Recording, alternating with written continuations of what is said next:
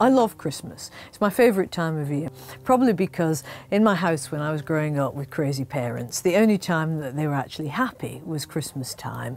And somehow that, you know, that catches you as a child and it's something that you carry forward. You know, we all have memories of Christmases, good or bad, that we take with us.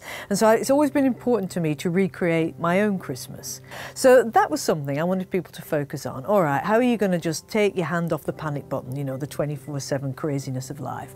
And a good way to do that is by reading a story or cooking a meal, and that's what this book is about. The stories are in there so that you can sit on the loo or, you know, on your way to work or when you they're, they're short. And then maybe, you know, you might want to enjoy some of the recipes, which are all simple. And the whole idea is to make it your Christmas, um, not some fake ersatz thing.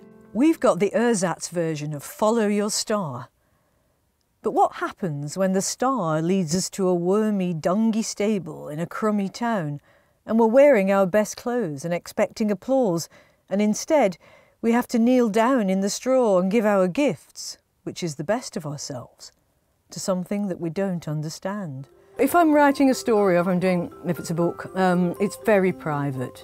Nobody sees it. I don't talk about it to anybody. I simply don't. Well, in this case, there's an actor reading 11 of the stories. I read one of them um, for personal reasons, as always, but then I read the introduction and the author's note and the recipes because it's me and my voice talking to you. You know, it's great coming into Audible because there's been a lot of thought and sensitivity um, around the whole recording experience. You know, the studios are beautiful, you know, it feels simple, clean, uncluttered. You know, you come in, the whole atmosphere is one which feels productive.